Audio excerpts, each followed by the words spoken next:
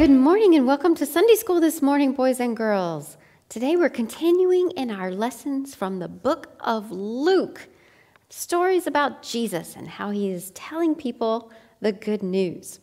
So, in this story, Jesus had gone in a boat across the Sea of Galilee. And when he got across, he got out of the boat and he met a man who was controlled by evil spirits.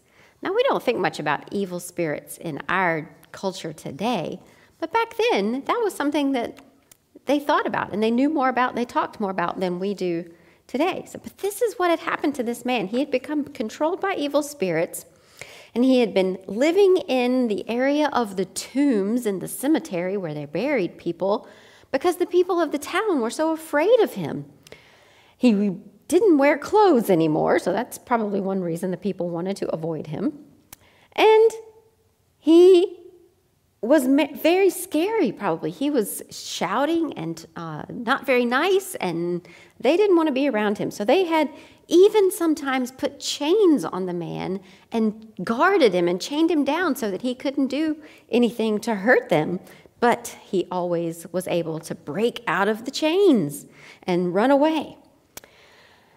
So at this point, now Jesus comes out of the boat and meets this man and Jesus, as we know, is way more powerful than anything these evil spirits could do.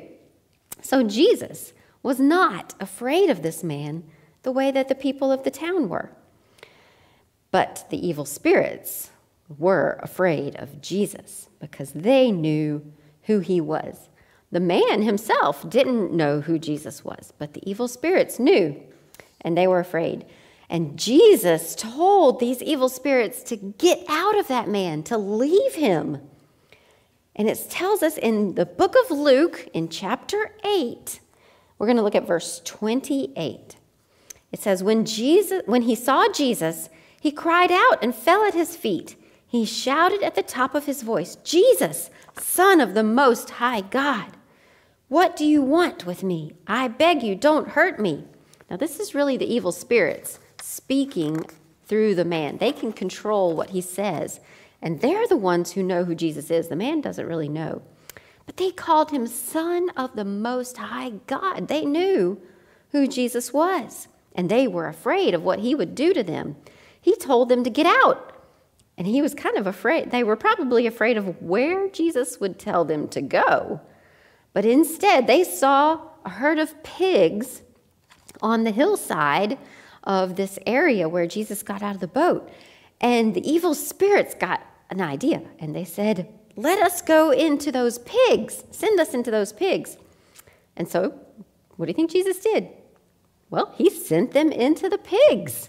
Now, have you ever seen a herd of pigs? They're not the most pretty or furry or cuddly animals, are they? So, it's this big herd of grunting, wiggling pigs. And when the evil spirits went into them, that whole herd of pigs came crashing down the hillside. Now, pigs have really short legs. They don't run very fast, probably, but they were running as fast as they could. And they ran down that hillside and they jumped off a cliff. And they all died. And the pig keepers the herdsmen who were tending this herd of sheep, and that was probably all of their income. They wanted to sell these pigs as food for people in the town. And so now all of their income is gone. They have no way to have a job. That was their job. And they were pretty upset and pretty terrified that this man, Jesus, could do something like this, could make this whole herd of pigs kind of go crazy. They were pretty shocked. And it tells us in verse 34, if you skip down there, those who were tending the pigs saw what happened. They ran off and reported it in the town and the countryside. So they went and told all the people in the town and the other towns nearby what had happened. It was pretty shocking and pretty amazing. And all of the townspeople came out to see for themselves what was going on. What were these herdsmen talking about? And there they saw the man who used to have these evil spirits, who used to be pretty much a crazy man. And they saw him sitting there, very calm and very healed and healthy and wearing clothes again. That was good. And in his right mind. And they were amazed. But they really weren't very happy about it. They were still pretty afraid of what else Jesus could do because they still didn't really understand who Jesus really was. So they really wanted Jesus to leave and they asked him to go away, go to another town. So Jesus got back in his boat to leave, and the man that Jesus had healed came back up to him and he said, Please let me go with you. But Jesus had something else for the man to do. And it tells us in verse 39 Jesus said, Return home and tell how much God has done for you.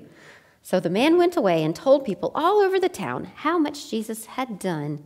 So Jesus wanted him to go tell people. And that's what Jesus wants us to do also. He wants us to share our story and share Jesus' story with the people that we live around and the people that we talk to and the people that we come in contact with. And when we do that, we can also make sure that people know that no matter what kinds of scary things happen to them in this life, that Jesus promises to be with us. And that can help us to not be afraid. So I hope that you will tell people your story this week and tell people not to be afraid because Jesus is with us. All right, I'll see you back next week for another story. Have a good week.